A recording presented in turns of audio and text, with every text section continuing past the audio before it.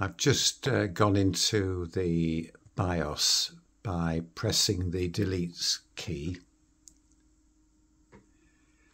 And the first thing I've noticed is that my RAM speed has defaulted down to 4,800, whereas it should be at 6,000.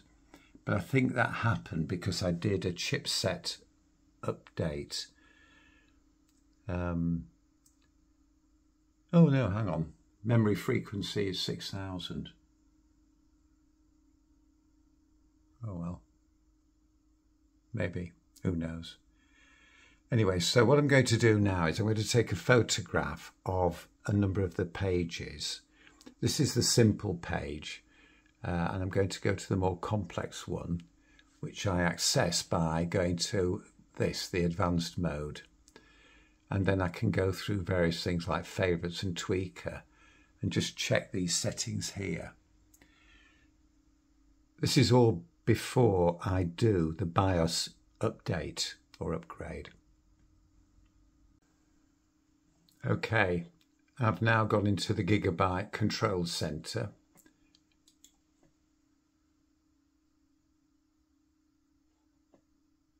I'm going to click on the MS MB BIOS.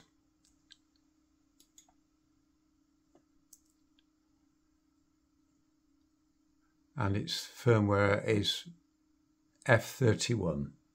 Right.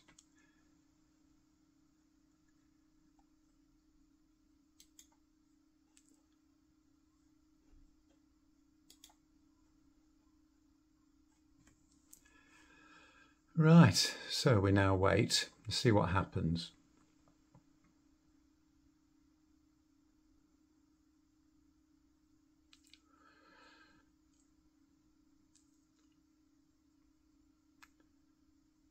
I'm filming this in real time so you can see how long it takes to do. Right, so everything's gone off, but now it's switched back on again.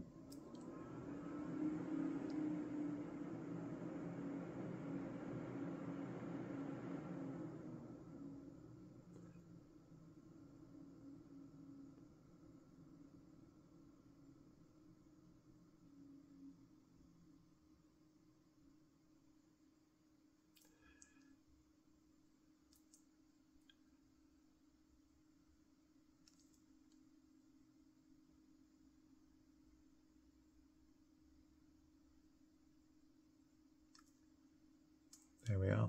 Updating BIOS now, 3%.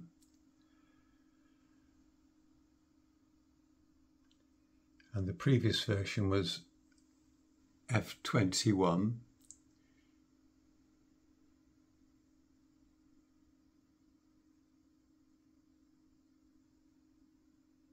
Of course, this is where you wouldn't touch anything on your keyboard. You leave the computer just to run through the process a lot of people get very jittery about updating the BIOS. When I did it last time, it was very straightforward. Um, but I have looked and um, on the internet, and some people are quite derogatory about this. But from my personal experience, provided you're sensible about it, it's been very straightforward.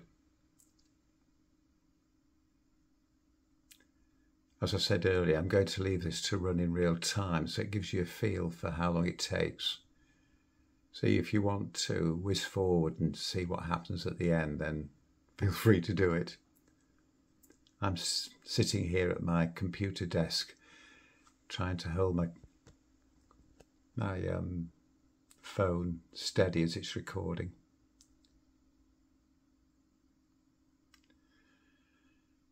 Now I have to say that when I went on the uh, Gigabyte website and looked at my motherboard, there were a lot of other updates between F21 and where I am now F31, but a lot of them didn't seem all that major.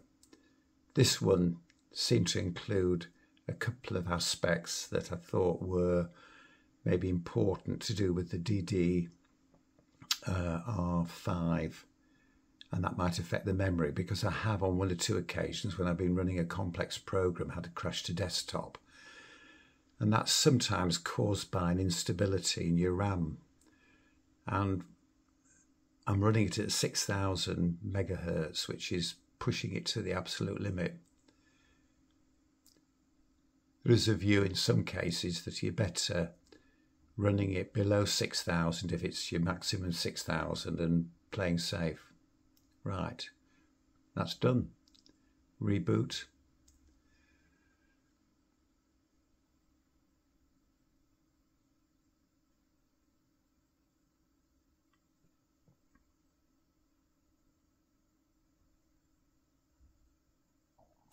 This, of course, is the moment when you're really anxious because you're waiting now for the computer motherboard to kick into life.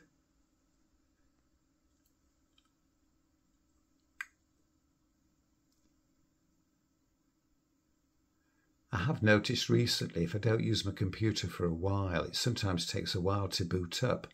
But once I've got it running, it boots up fairly quickly. Um, you know, if I kind of like shut it down and then start it the same day.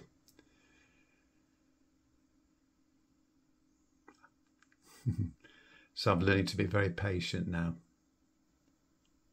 But obviously, if there was a problem, this would be when, you know, you'd be kind of panicking now. You'd be thinking, this is taking a while and fiddling about, maybe touching something, but I'm just resisting the temptation because I know from past experience just to wait. What you can do sometimes is you can look at the motherboard and there is an indication of what it's going through. There's various kind of LEDs that indicate the checking process that's taking place. So here am I holding my phone staring at a blank screen. But you just have to be patient and um, believe everything's running according to plan. There we go. You see, that's promising. But that picture, that icon looked a little bit different to the one I remember seeing before. Yeah, definitely smaller.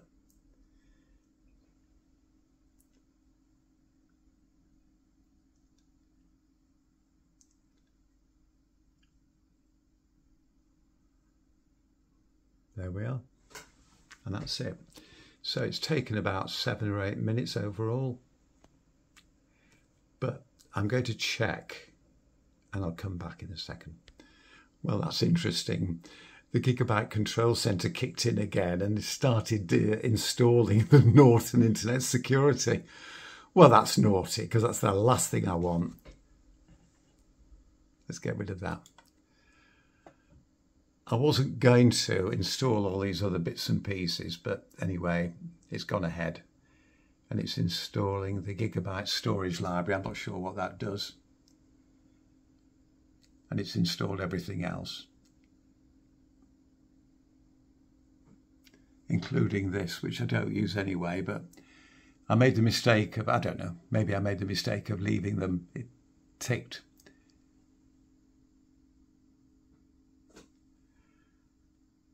I definitely don't want Norton on my computer.